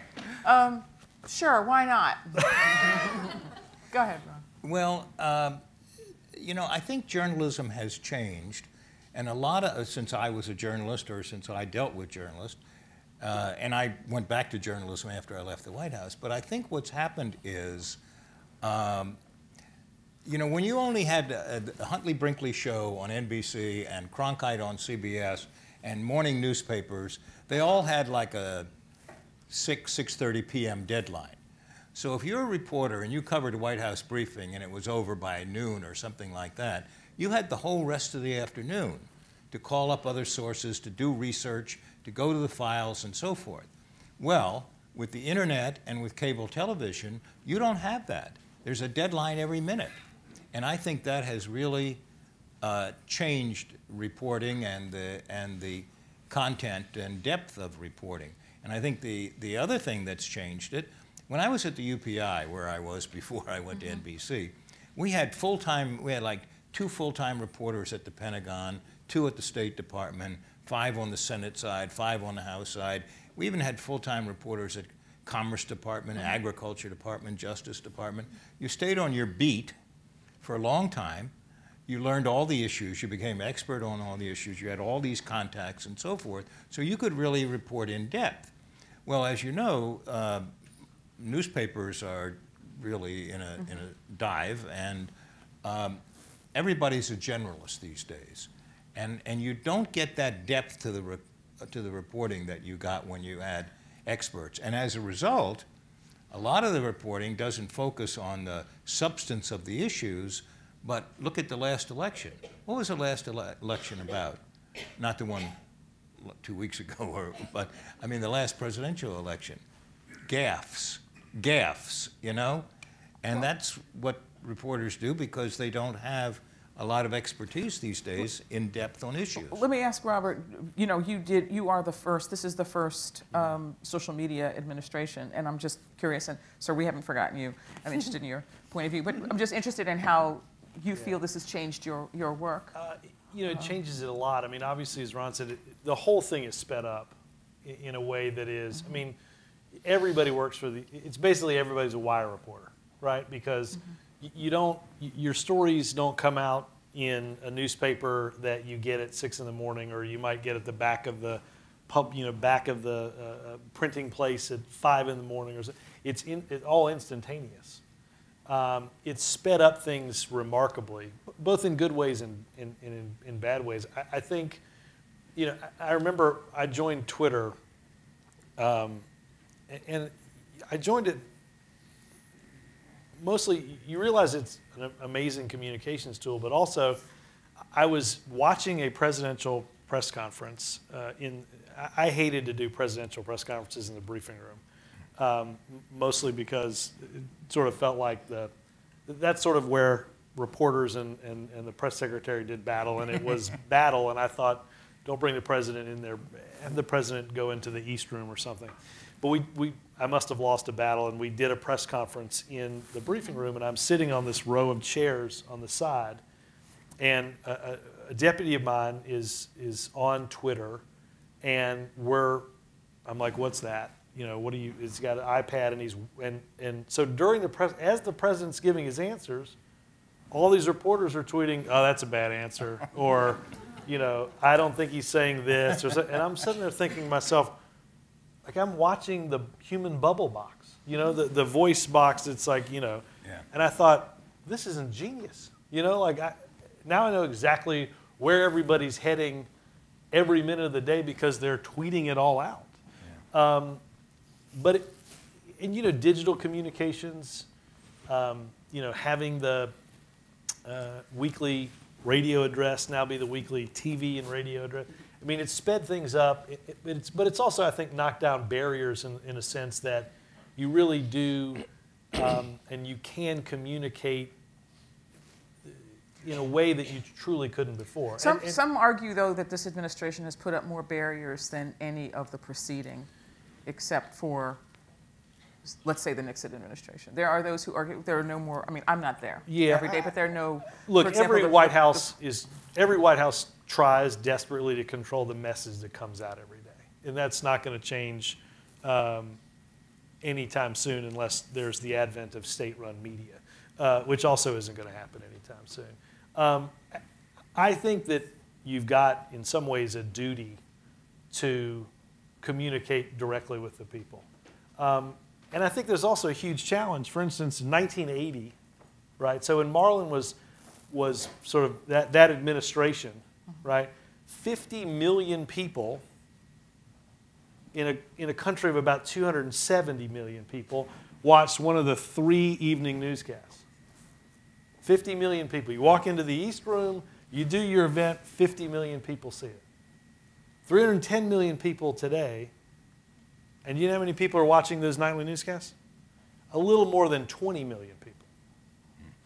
Now, there's more information that's more readily available than at any moment in our nation's history.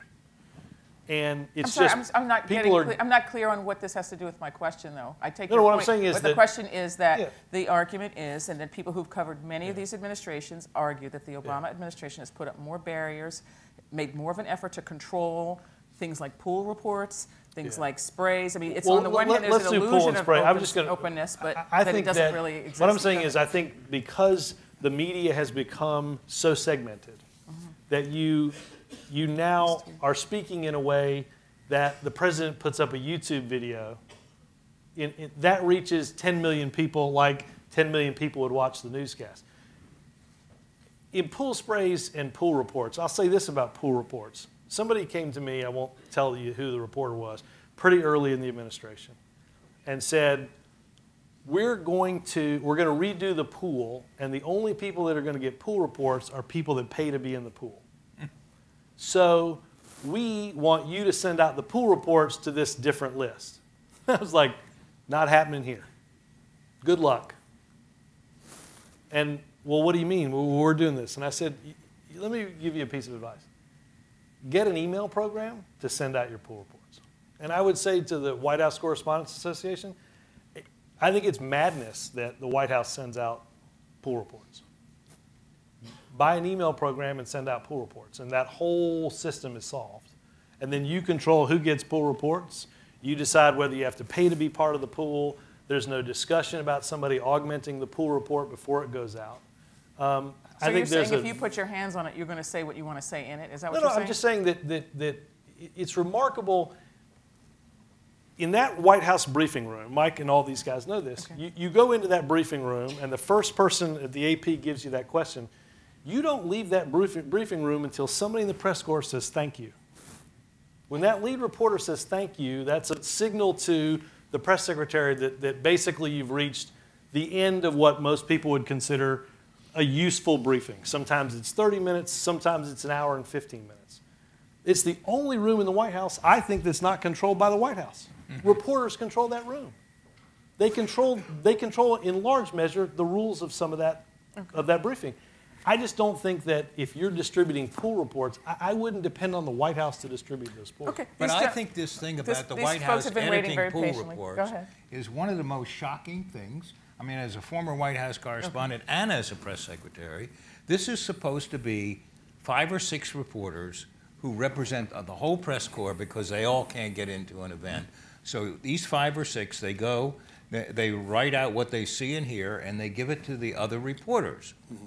Now, what role does the White House have in that? Now they've taken that over and they're editing the pool reports. The next thing you know, they'll go over to the Washington Post and start editing the Post.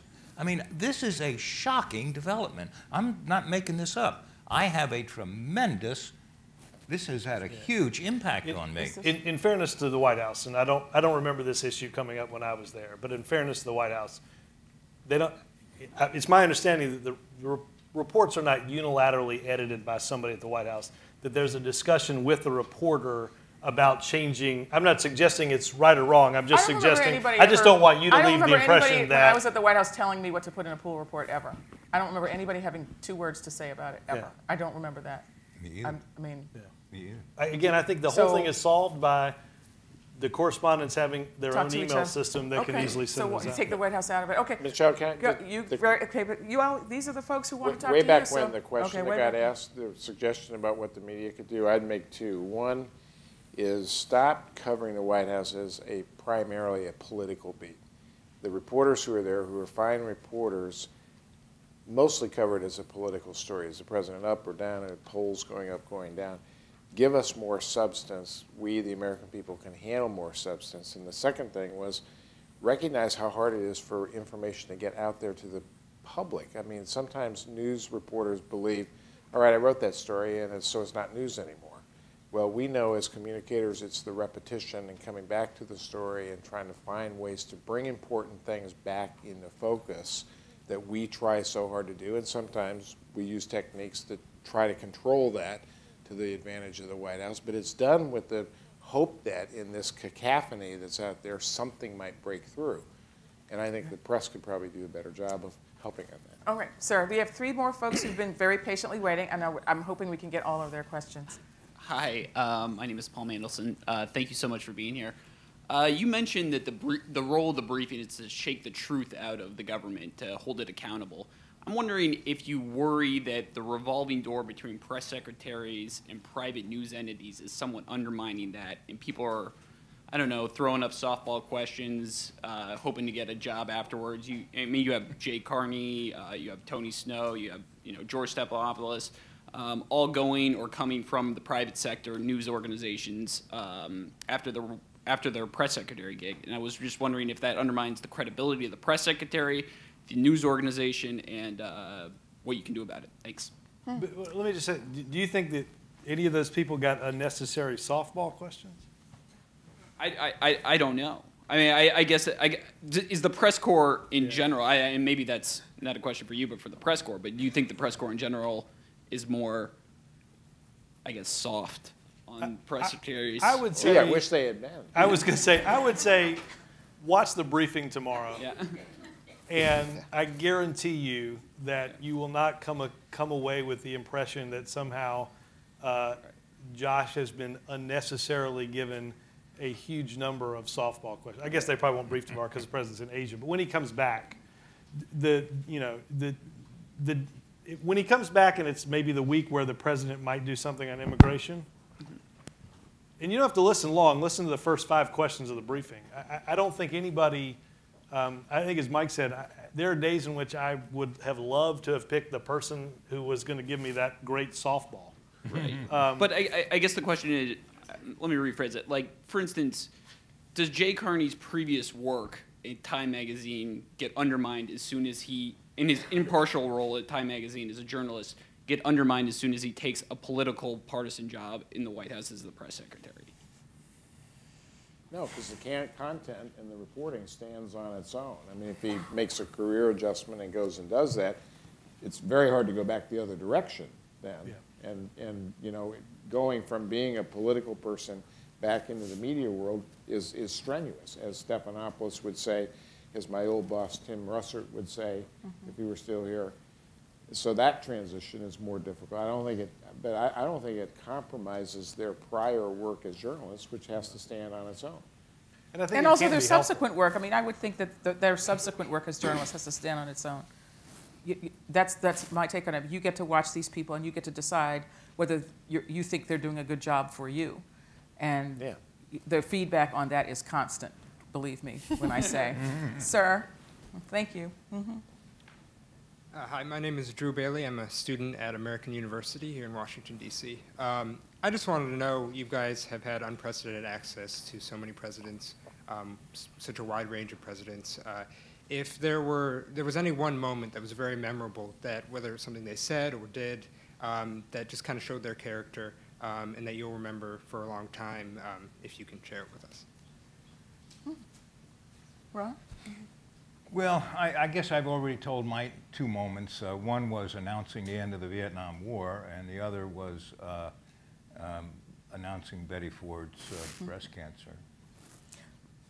Is there a moment that, I think what he's asking though, is there a moment that perhaps we did not see? Because there's so Oh. much, we think we see so much, but actually we see very little. I mean, that's a fair statement, isn't it? Wouldn't, it, wouldn't you say? Is it that, I don't know, Marlin, you told this story in 41 on 41. Do you want to tell that story about when you saw the house at Kennebunkport that was, um, I don't know if, if how Yeah. you feel about that, but um, Uh, Let me just two very quick stories. Mhm. One was President Bush called me to the Oval Office one day and said, I hear the press asking you questions about when am I going to have a meeting with Gorbachev? And he said, this was early in the administration. And, uh, and, and the, they, the, press, the press was getting their normal cantankerous selves and saying things like, uh, you're supposed to be the foreign policy president, and you've let six months go by and you haven't met with Gorbachev. What's going on? And he said, Tom, so I want you to know this. I'm going to meet with Gorbachev in December, which was four months away. He and I have agreed by telephone. But he doesn't want anybody to know right now because he's got hardliners pressing him in Russia that he's getting too close to America and they don't like it. And I, I've got to do some work there. So can you keep that a secret? And President Bush says, well, we'll try. And Gorbachev says, America keeps no secrets. I'll know about this in days. So Bush said to me, I want you to know because only Baker, Jim Baker, Secretary of State, and me know about this today, and now you're the third one. If it leaks, you're fired. but he said, I also want you to know, I listened to your briefings, and I want you to know that you need to come up with language that doesn't deny this is going to happen or these isn't arranged, because sooner or later they're going to find out that it has been arranged. And that was a great moment for me because it said that the president is sensitive to my problems and to the problems of information. Uh, the, other, the other story is when his house burned down, not burned down, when the perfect storm hit New England. And uh, it leveled their house, in effect, just wiped everything out to the ocean. And we went up there the second or third day after it happened. I don't, I don't know exactly how many days, but uh, it was so sad. And the, the press was with us, but they weren't with him in the house. They stayed back out of the way. And, uh, and basically, it was so shocking uh, for him to just walk through the house and everything was gone. All the mementos, all the pictures. He found one little picture of his father in the yard. Said, What do I do with this? and our photographer said, let me have it, I'll try and save it. And that was it. Uh, and we were all in tears, and he started beating this rug. And uh, we thought he's going into shock. And he looked at Andy Card and myself and said, Will you help me? We picked up brims, we all started beating this rug. And there was no purpose to it other than we were three people caught up in the, especially the president, in this horrible emotional kind of loss, which, which we see often in hurricanes, tornadoes, floods, and stuff across America. But there was really no way for me to explain that to the, to the press. And finally, at the end, I said, Can I bring the press in? He said, I don't want to be here. And he left, went and got in a, went to the shack or somewhere there. And uh, I brought the press over, and they walked through the, the remains of the house and no, got no emotion. Said, okay, almost no story, and walked away. I mean, that was really, that's tough for a press secretary or president to have to go through those kinds of emotional things. Mm. I don't know that that's relevant to what you were trying to find out, but I'm just saying there, those kinds of things happen. Did you, Mike, did you want to add to this before we go on to the? Well, I mean, what I, what I recall actually was a, a moment that was really important in the Clinton presidency while I was there, where I was absent. And it was uh, not long after I had started my tenure at the White House. The, I had mentioned earlier the federal building in Oklahoma City had been destroyed in a, what turned out to be a domestic terrorism attack. And um, it, it, was, you know, we it happened. We had done all these briefings, all this stuff. But the president, President Clinton, went to Oklahoma City to participate in the memorial service. I did not go because it happened that my third child was about to be born. Mm -hmm. And, I, and my wife, who was here, thought it was probably a wise idea for me to stay at home. and, uh, but I remember watching. I remember we were in the delivery room, and our, our doctor came in and looked at me and said, are you interested in the fact that your boss is having a press conference right now? And I was, but I decided I should probably stay where my appointed duties required me to be.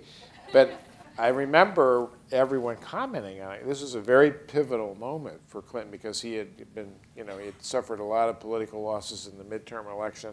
There were questions about, are you still relevant in the process because the Republicans and Newt Gingrich had taken over the Congress.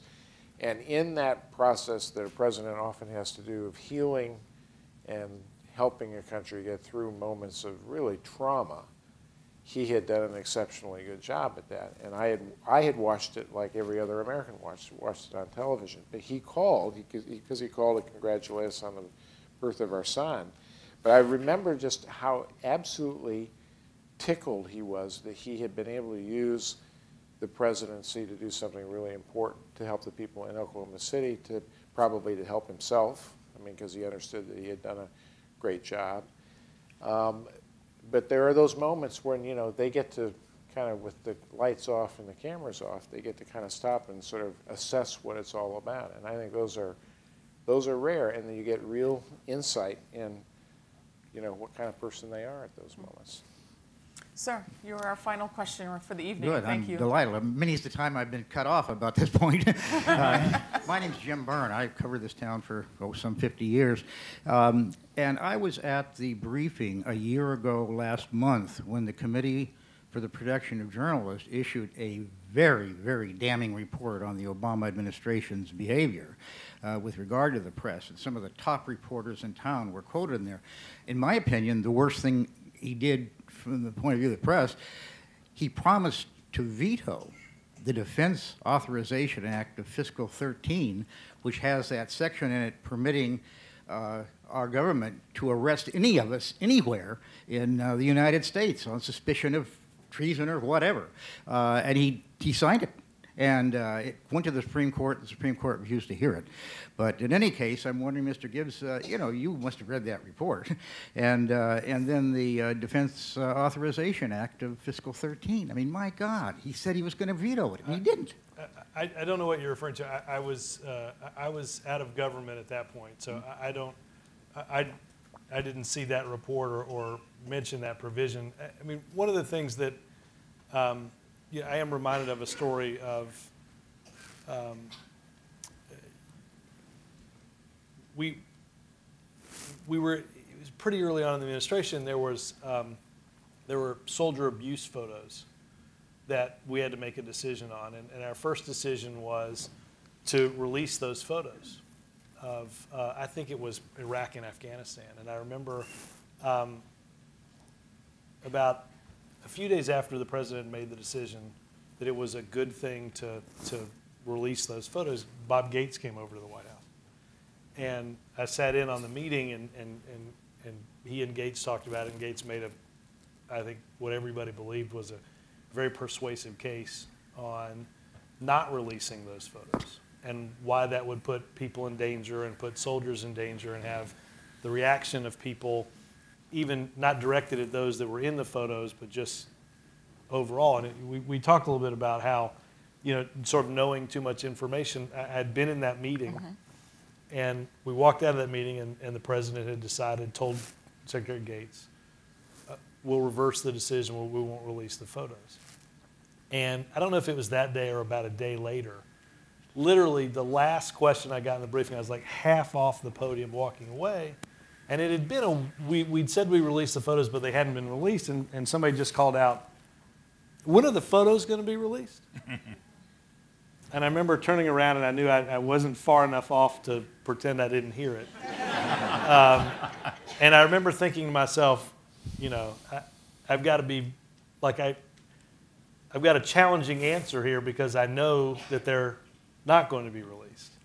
And I know I've seen the meeting, I've seen the discussion, I know why. And I, I was very sort of uh, reminded of, of, of telling the truth slowly. I gave an answer that led everyone to understand we were about to make a very different decision. Um, but I'm, it just reminds me of those times in which, as we talked about at the beginning, you've got information and, and, and what do you do with it when you have it? You're making these decisions about transparency, non-transparency. Some of these, some of the decisions and some of the definitions are, I don't think, as easy as some people might presume. Just transparency writ large, or those some of those decisions writ large. Well, thank you. I don't know that this gentleman is satisfied with that answer. but I think that. Uh, Read the report, so. but um, we didn't talk, so many things we could have talked about, including Ron Nessen, the fact that you were the first political figure to appear on Saturday Night Live. Um, but we'll have to save that for the next session. Ron Nessen, Robert Gibbs, Marlin Fitzwater, Mike McCurry. Thank Good job. Thank you. Thank you very much. And thank you. Always good to be Good to be with you, my friend. That was